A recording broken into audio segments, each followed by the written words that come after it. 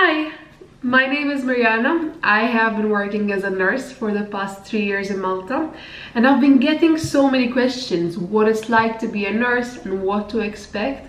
So I decided to make a video for you guys to explain a bit more about our profession. Okay, the number one thing that everyone keeps getting wrong is that nursing is nothing like what you see on TV, okay? Nursing is not a glamorous job. We are not sitting behind the desk sipping our coffee.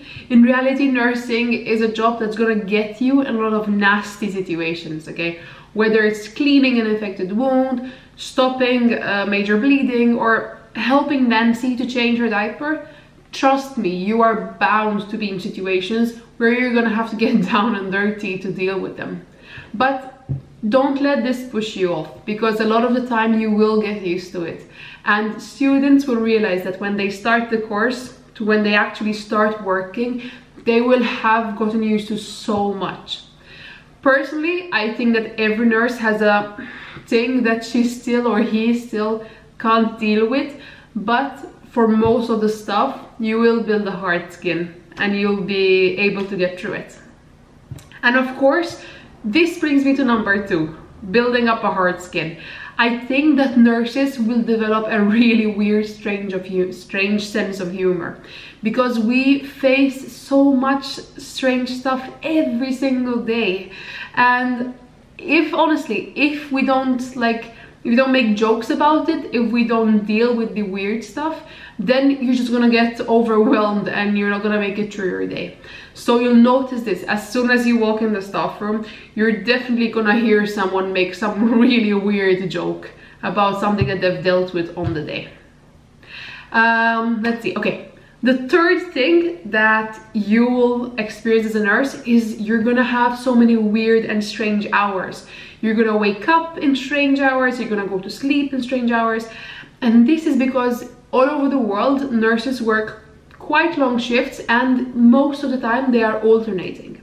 In Malta, we work 12 hours and when I started working I had um, what we call a day day night roster so basically i worked two days from 7 a.m to 7 p.m and then one night shift from 7 p.m to 7 a.m the next day. And then i had like that day and the other day off. So it was a five day roster. Um, after a while you do get used to it. I have to say it's really affected the way that i was eating. It affected my sleeping schedule a lot. Um, and for me the best way to deal with it especially for my night shifts, was that after I finish my night, I would go home and I would like do all the stuff that, I, that needs to get done right away. Because as soon as I sit down, that's when my body's like shut down and go to sleep. But I felt like if I keep going, like if I go to the gym, if I do all my chores, if I do, you know, anything that has to be done right away, then um, I could actually have the energy to do it. And then I would maybe take a nap in the afternoon. So for me, it felt like I'm not wasting a whole day. But of course, every nurse kind of finds um, their own thing of uh, how their schedule works best. Uh, okay, let's see what we have. Yeah, the number four, you are gonna have to work holidays. I'm sorry, darling, but you don't have a five to uh, 10 to 5 job. So you are going to be working weekends and you are going to be working on Christmas and on New Year's. It's not going to be the same every single year and most hospitals have like an alternating uh, shift. So if you've worked Christmas this year, you'll be off next year. Um, but you are gonna have to suck it up and show up to work on the days that people are usually drunk and celebrating, okay?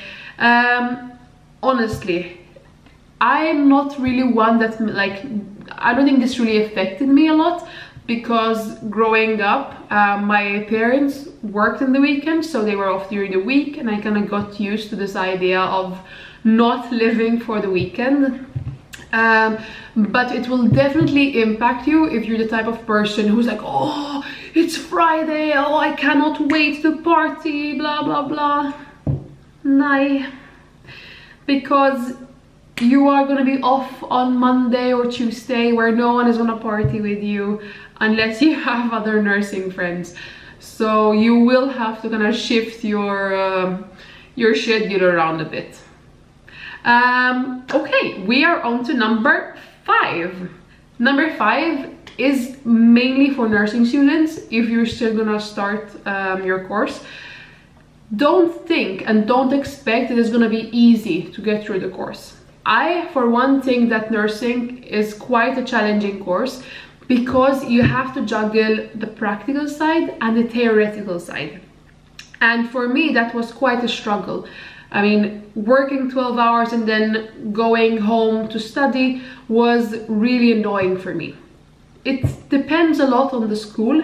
Uh, my school was integrating the practical side and the theoretical side within the same uh, semester but there are quite a few schools who kind of make them separate so you can focus solely on your practice or focus only on your theoretical. Um, apart from that, having like a scientific background in biology and chemistry is really going to help you out with the course. And if you don't have it, don't worry. Um, there's so many resources online. I even have my own blog, the Nursing Journal, and I upload a lot of like articles and basic stuff that you need to learn to actually get a kickstart in your course. So do not give up, just put your head to it and make sure that it's really something that you want to be uh, doing, okay? Because if you kind of put your head there, it's definitely gonna work out a lot better. Okay, on to number six. Um, something awesome about being a nurse is that you have endless opportunities. Okay, you can work anywhere in the world ish. If you have a European degree, ideally work in Europe because you'll have quite a bit of hassle to um, work outside of Europe.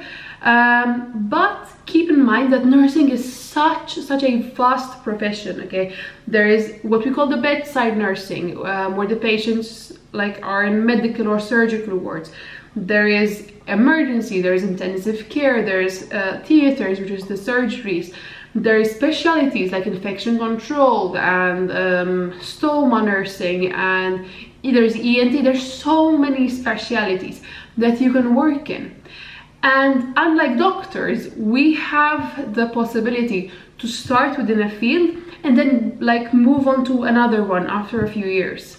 Okay, if you specialize in one field, you are you will somehow apply that to the next. So don't be worried that you're gonna be stuck in the same job for the rest of your life because honestly, I myself have moved from bedside nursing in a surgical ward into anesthesia nursing in theaters and it is absolutely completely different from what I was doing, you know, and it's it feels like I've changed my job completely, but I'm still a nurse, you know you know it's still uh, doing uh, nursing. So whenever you kind of get bored of uh, what you've been doing for a, a, long time just don't give up. Look into what you're interested and shift into the next field. Okay and this brings me to the last uh, point. We are number seven now um, this is my favorite one because as a nurse you will bond a lot with your patients okay? You're gonna cry with your patients you're gonna laugh with them you're gonna hug them um, and you're really gonna build a relationship with them. Now having said that this really depends on you okay I get nurses every single day telling me, oh, I cannot bond with my patients when I see them for 15 minutes. You know, in anesthesia, for example, we get the patients 10 minutes later, they're asleep and then wake them up, blah, blah, blah. But this is up to you, okay? When my patients come in, I make sure to smile at them. I introduce myself. I ask how they're doing. I, if they're anxious, I try my best to calm them down, okay?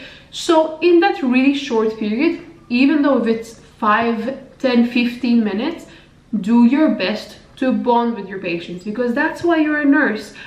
That is why you are there, okay? You're there to actually make the patients more comfortable. And of course, if you are in bedside nursing, then you have a lot more time to actually get to know your patients. And don't lie to me, okay? I know that you will be busy. I know that within 12 hours, you're gonna be on your feet for at least nine of those hours, okay? And then the rest of the hours, you need to eat, you need to do all the paperwork. But trust me, okay take at least 10 minutes from your day where instead of being like with your colleagues discussing something go next to your patient okay and talk to them ask them how they're doing if you see someone who's crying if you see someone who's agitated sit down with them and talk to them okay so if you're really into it and if you love your job and if you're passionate about it you will definitely bond with your patients no matter which department you're working in I think that's, uh, yeah, that's most of what I wanted to say. Um, I think that gives a pretty good view of what nurses um, are like, in my opinion. If you have any questions, don't hesitate to ask. And yeah, if you've been working as a nurse, please tell me more about uh, what you think we should include. So have a good day. If you like the video, please subscribe and like the video. And definitely check out my blog. I will link it in the description. Bye!